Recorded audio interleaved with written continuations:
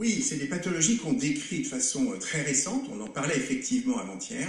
Euh, ces pathologies-là qu'on ne connaissait pas trop, eh bien, elles sont aussi sous-tendues par cette auto-immunité. je vous parlais euh, avant-hier de cas de vascularite qui donnent des manifestations dermatologiques. Les vascularites sont des atteintes auto-immunes des vaisseaux.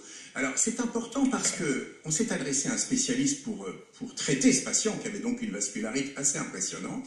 Le traitement qu'il nous a indiqué était, tenez-vous bien, hydroxychloroquine, azithromycine. Pourquoi? Bah, L'hydroxychloroquine a fait ses preuves justement dans des pathologies auto-immunes, une qui est très connue, qui s'appelle le lupus, et qui donne précisément des atteintes vasculaires, des atteintes pulmonaires, etc. Et conseil du spécialiste, c'était de le faire dans l'urgence. Pourquoi?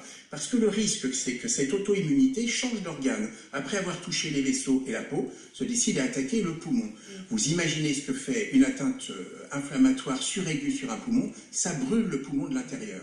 Ce que je veux dire, c'est qu'il faut comprendre aujourd'hui que dans les cas graves, cette pathologie évolue en deux temps. Une phase virale d'abord, et ensuite une phase inflammatoire cytokinique euh, auto-immune, et c'est cette phase-là qu'on doit euh, éviter à tout prix. C'est pour ça que si des traitements doivent être proposés, et en particulier ce traitement-là, qui a, déjà qui a une AMM dans le, dans le lupus, si on doit proposer ces traitements, il faut absolument le faire avant.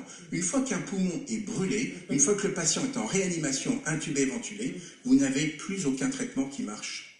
Merci beaucoup, docteur. Je crois que